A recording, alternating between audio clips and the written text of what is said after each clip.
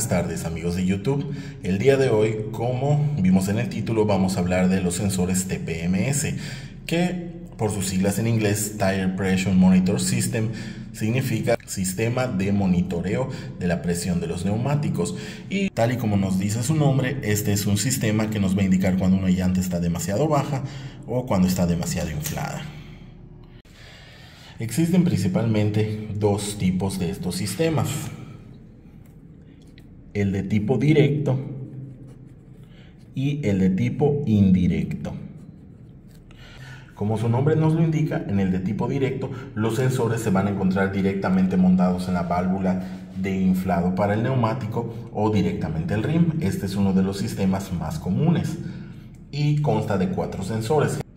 El, tipo más común que vamos a encontrarnos es en donde el sensor está acoplado a la válvula de inflado del neumático, que es como el que lleva el Challenger, de este tipo, como esta imagen que están viendo en pantalla. Y el otro tipo que vamos a encontrar es, se encuentra mayormente, yo lo he visto mayormente en vehículos Ford, pero algunas otras marcas lo tienen. Y es este un poco más alargado que va fijado directamente en el ring.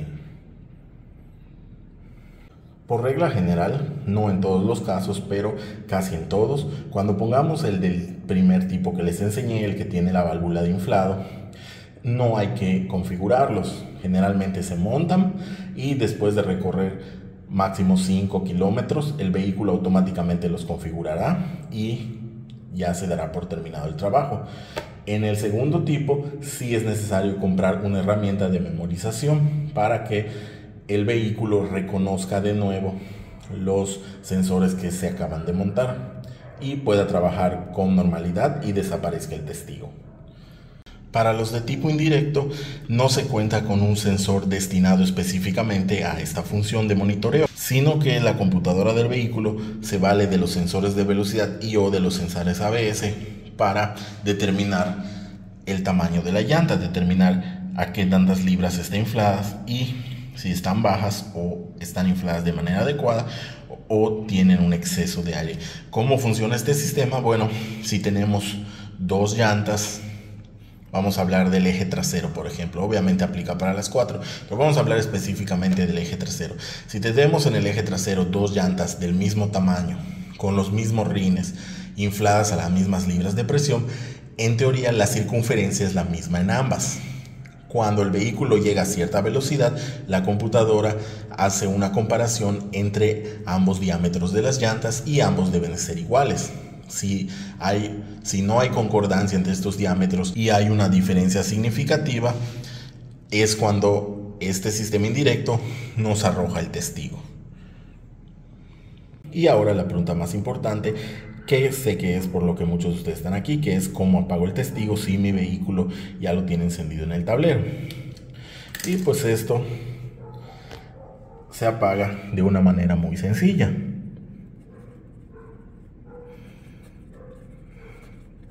Reemplazando el o los sensores dañados.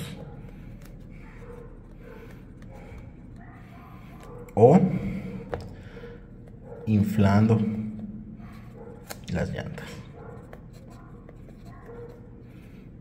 Porque esta es la razón, porque bueno, este es un sistema de seguridad de nuestro vehículo. Lamentablemente he escuchado más de una vez que me traen un carro chocado. ¿Por qué? Porque bueno, le cambiaron los rines por apariencia, porque se vea mejor el vehículo, para que se vea más deportivo, etcétera a los nuevos rines no les ponen el sensor.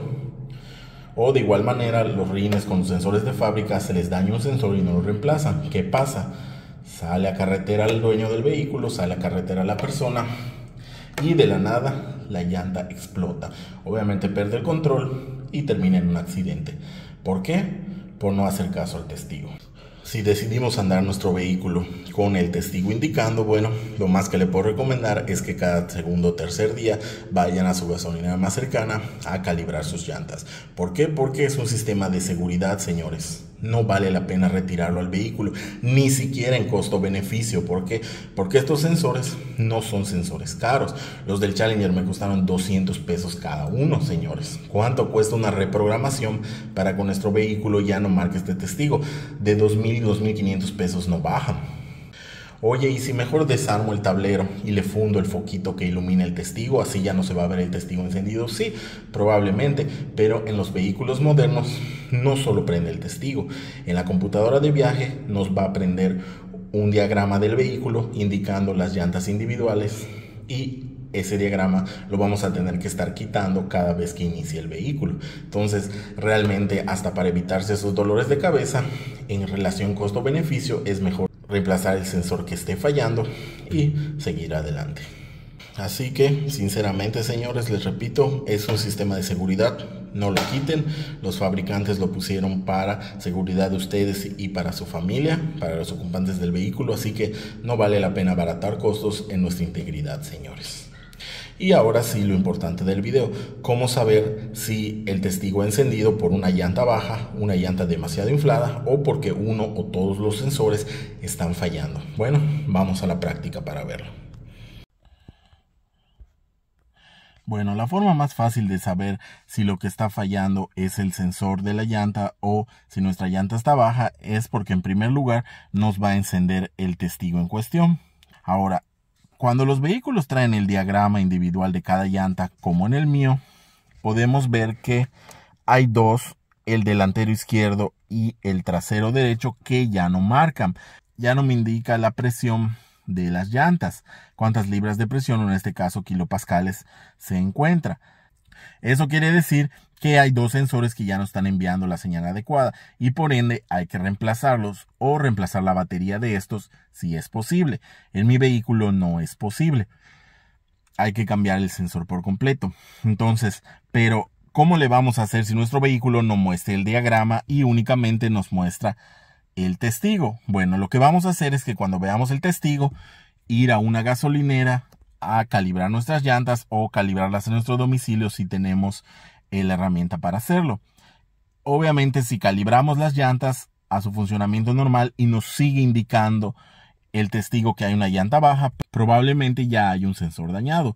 ¿Por qué? Porque si fuera una indicación de que el sensor está haciendo su funcionamiento correcto y nos indica que una llanta está baja, al inflarlas debería de borrarse dicho testigo. Y ahora para reemplazarlos obviamente tenemos que acudir a la llantera. Nosotros no vamos a poder hacerlo a menos que tengamos el equipo adecuado para quitar la llanta, separarla del rin, etc. Entonces voy a llevar el vehículo a la llantera. Ellos únicamente lo que hacen es separar el rin del neumático, quitan el sensor, lo vuelven a poner y vuelven a montar la llanta. Entonces les dejo este pequeño video para que vean parte del proceso.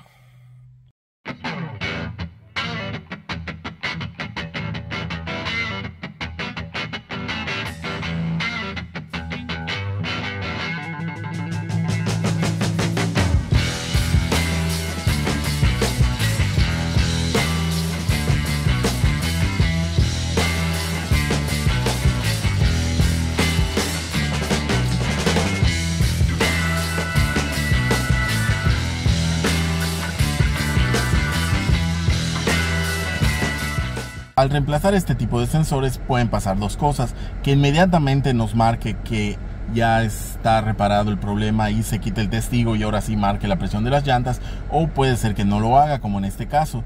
Básicamente estoy saliendo de la llantera y sigue sin marcar. En este caso no se preocupen. Este tipo de sensores que vienen junto con la válvula de llenado suelen calibrarse solos. Es cuestión de que manejemos el vehículo unos 5 kilómetros, 6 kilómetros y debería de programarse automáticamente. Entonces no se preocupen si no marca, simplemente conduzcan su vehículo como lo conducen normalmente, a velocidad de ciudad, con altos, con frenadas, etcétera, y solito debe programarse.